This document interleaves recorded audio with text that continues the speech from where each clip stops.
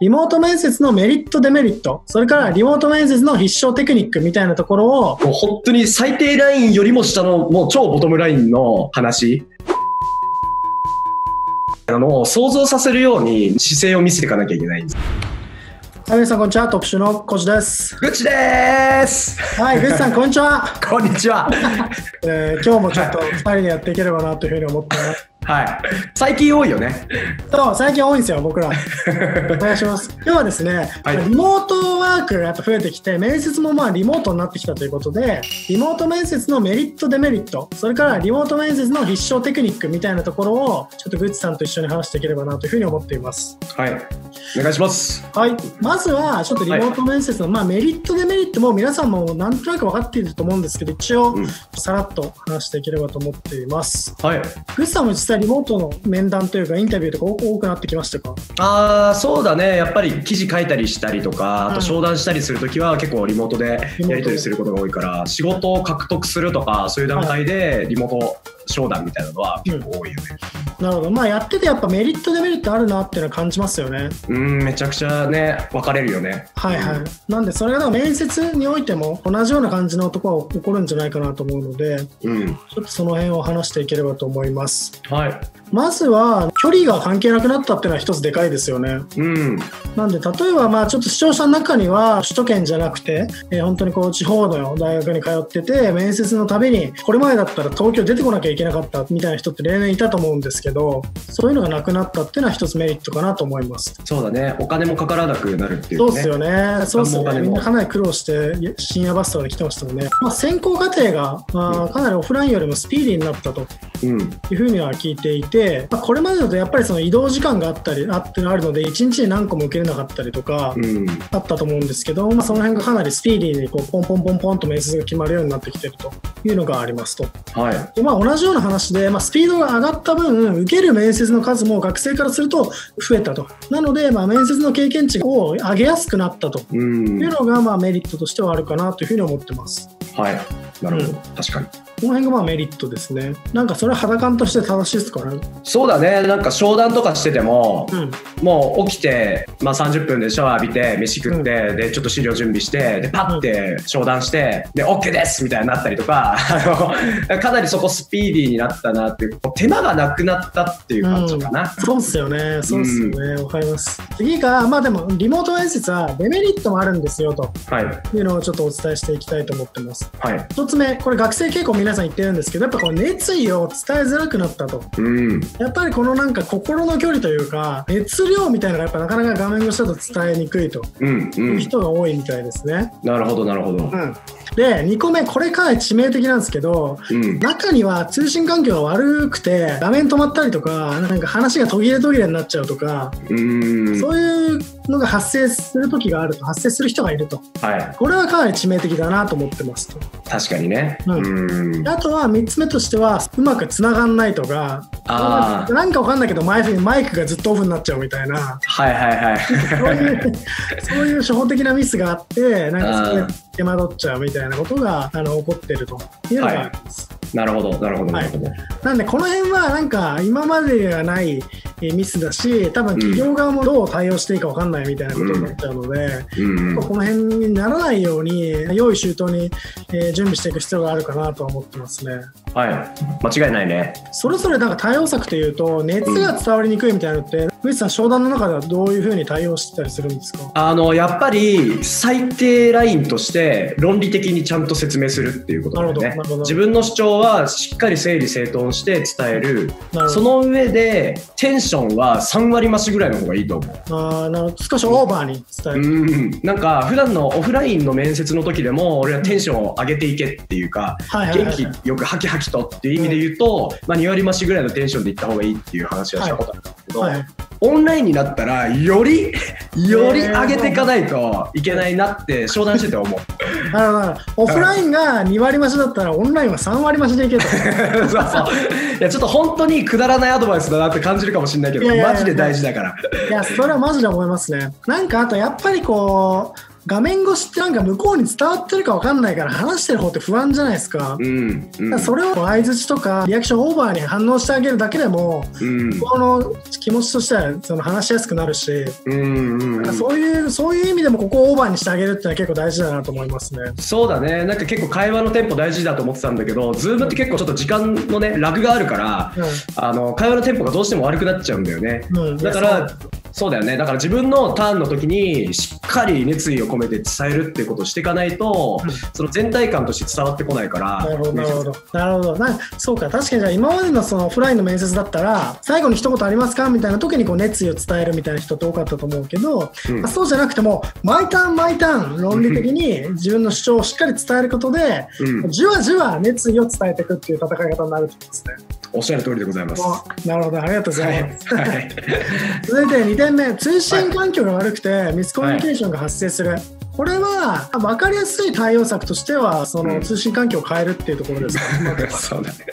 もう本当それはちゃんとやってくれって感じ。これはかなり大事ですね。っていうかもう1人当たりの与えられてる時間って5分とか10分とかもう決まってるからここでごちゃついてると2分3分4分ってどんどんこう時間が消耗していってうんどんどん自分の伝えられるチャンスっていうのが少なくなっていくからもう本当に最低ラインよりも下のもう超ボトムラインの話ここは絶対やっといた方がいいみたいな。うんなんかまあ自宅の環境を整えるのが一番多分いいですけど、まあ、そうじゃなくても、僕だったら例えばちょっと外出銀行とかで外出した日の午後にオンライン面談ある日はあのスペースマーケットとかスペイシーとかで w i f i が早い部屋取ってもうそこで、うん。あのオンライン面談するようにすれば、まあ、基本外にいても通信環境はある程度担保できるなと思ってて。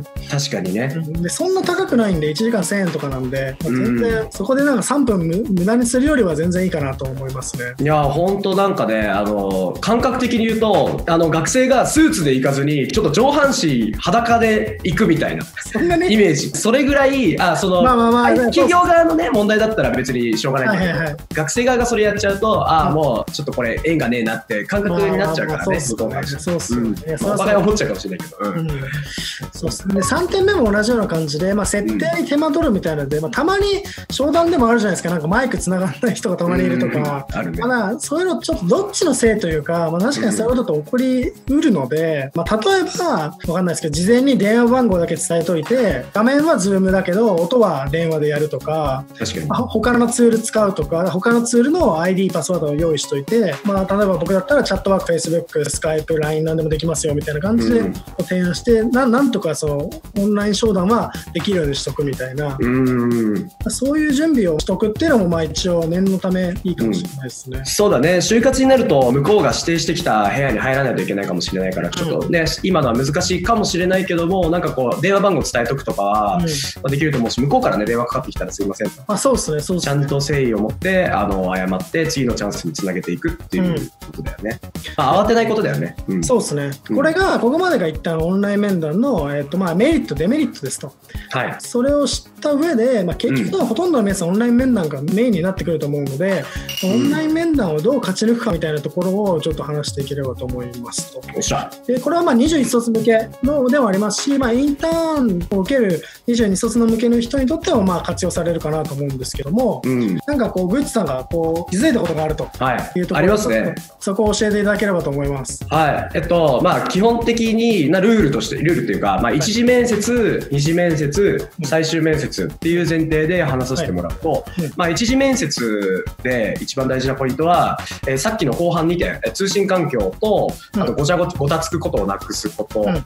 前提に、しっかり論理的に説明するっていうところですね。はい。もう一次面接はその2つさえ突破できれば、まあ、ほとんどの場合通過できることが多いんじゃないかと。うん、しっかり土俵に立って、がっぷり四つで組むと、面接官と、まあ、その姿勢があるかどうかですね。そうすると、まあ、こいつは戦えるやつだなと。なんで2時にはいけるってことですよね。うん、2時に行ける可能性がぐっと高くなる。うん逆に2時ではどういうところ見られてるんですかね？二次面接はやっぱりその、まあ、マルベリーの話でいうと若手社員が一次面接で二次面接は中堅社員なんですよね。はい。中堅社員の人ってやっぱりこう部下が上げてくる情報をどう伝えてくるかとかの目線で部下を見てたりするのでそういう意味で言うと、やっぱりこう論理、ちゃんと論理的に分かりやすく説明できてるかってところをより、えー強く意識して見ている可能性が高いでなるすね。ほどなるほどはい。じゃあやっぱこのさっき言ったオンライン面談では一回一回のこのポイントを熱意を持って論理的に一回一回の受け答えをしっかり答えるっていうのはここに回答するところってこと感じですかね。うん、そうだね。うん。自分のことをしっかり分かってるかどうかっていうところかな。そういう意味で言うでそれをしっかりこう言葉で、えー伝えられることができるかというところがまあ見られていると。と。はい。これでまあ会社で合ってるなとか、まあ、この人いいなと思うと、まあ、最終面接にうん行ける可能性が高いとはい思うんですけど、最終ではどういうところが評価されるんですか、最終はもう、あの、役員とかが入ってくるので、うんこの会社で利益をね、上げるために貢献してくれるのかどうかっていうところを見てますね。なるほど。要は、熱意です。ゴリゴリの熱意ですね。はい。でもやっぱ今日の話だとオンライン面接だと熱意でやっぱ伝えづらいということだったと思うんですけどここは、まあ、さっき言ったようなポイントが大事になってくるんですか？大事ですね、うん。うん。やっぱりどうだろうな、まあ、役員の方と会う場合はもしかしたらオフラインの時の方が多いのかもしれない、うんうん。だけど、まあ、オンラインでもオフラインでもそこはそんなに本質的には変わらなくて、うん。やっぱりこう自分はこの会社に本当に入りたいんですっていう、うん。でそういう気持ちって他のコミュニケーション恋愛とかあうん。の告白する時とかもそうだけど伝わりづらいんですよ人って、うん。うん。基本的に言葉だけでは。はい。ただつらつらこう入りたい入りたいって言ってるだけでは伝わらなくて、そうそうどうやって利益に貢献していくのかみたいなのを想像させるように姿勢を見せていかなきゃいけないんですよね。聞いてる人が、あこのグッチ君ならなんか結構稼いでくれるんじゃないのと思ってもらえるように、うん。イメージしてもらえるようなこう情報を出していく必要があると。うん、そうやっぱり人件費って相当な、ね、コストなので、うんそれを上回るような利益を貢献するようになるのかこいつはっていう目線で確実に見てますね。なるほどなるほど。なので自分がいかにこう熱意を持って貢献するかみたいな部分は俺は少なくとも見せてて。